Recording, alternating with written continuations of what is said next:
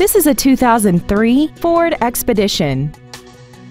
This SUV has a four-speed automatic transmission, a 5.4-liter V8, and the added safety and control of four-wheel drive. Its top features and packages include dual power seats, steering wheel mounted controls, a trailer hitch receiver, running boards, roof rails, dusk sensing headlights, air conditioning, and power adjustable gas and brake pedals enable you to change their height and distance to fit your body rather than you fit to their positions. We invite you to contact us today to learn more about this vehicle. Fritz in Fishers is located at 8599 East 116th Street in Fishers.